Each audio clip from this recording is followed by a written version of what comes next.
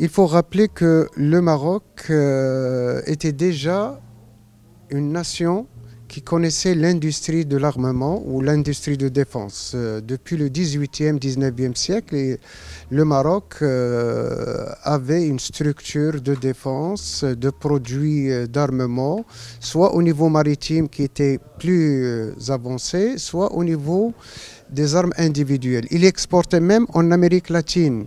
Il ne faut jamais oublier que euh, Simon euh, Bolivar, euh, en Amérique latine, a reçu beaucoup d'armements marocains justement pour libérer l'Amérique latine. Ça, c'est pour l'histoire.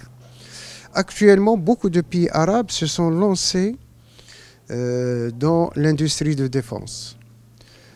pourquoi ils se sont lancés dans cette industrie de défense? Pour quatre arguments spécifiques.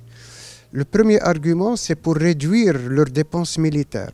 On a vu que, par exemple, le, plan en Arabie saoudite, c'est réduire d'ici l'an 2030 50% de leurs dépenses militaires grâce à l'industrialisation de plusieurs armes en Arabie saoudite.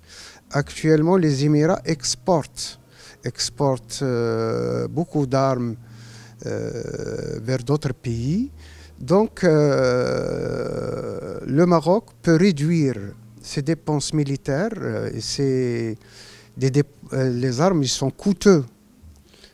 une balle le prix d'une balle peut varier entre 3 euros à 4 euros sur le marché international. Donc, c'est une réduction des dépenses militaires d'ici 2050 de presque de 50%. Secondo, euh, le Maroc euh, réalisera vraiment une autonomie dans plusieurs domaines militaires, c'est-à-dire euh, surtout le domaine basique, les munitions, avoir une autonomie des munitions, des obus, des canons et même quelques pièces de rechange, de, de charge, l'avionique, les drones, euh, les drones qui est vraiment une arme facile à fabriquer au Maroc. Troisième argument qui est très important, ce projet-là que nous sommes en train d'étudier avec quelques officiers euh, supérieurs français peut euh, créer entre 25 000 et 35 000 emplois de jeunes Marocains bacheliers, généralement scientifiques. Troisième quatrième euh, valeur ajoutée, c'est cette industrie peut réexporter vers d'autres partenaires africains, latino-américains et arabes. Donc euh, l'industrie de l'armement, l'industrie de défense, euh, c'est une industrie qui peut créer beaucoup euh, de dynamique euh, dans le domaine économique, social et euh, industriel. Je tiens à préciser que le Maroc il a déjà une industrie primaire et secondaire. Et dans le domaine de l'industrie de défense, généralement, c'est les secteurs privés qui fabriquent l'armement. Donc l'élément du secteur industriel privé qui est performant chez nous peut vraiment être euh, un élément fondamental dans le décollage de cette industrie de défense dans notre pays. Il y a d'autres valeurs ajoutées euh, concernant la souveraineté. Un pays qui fabrique ses armes se renforce du point de vue souveraineté. Euh, un pays qui fabrique ses propres armes et qui renoue avec ses ancêtres dans la doctrine militaire marocaine, c'est un pays maritime de deux côtés. C'est un pays, qui veille sur le détroit de Gibraltar. C'est un pays qui a ses racines en Afrique. C'est un pays qui a ses profondeurs stratégiques euh, en Afrique du Nord et au Moyen-Orient.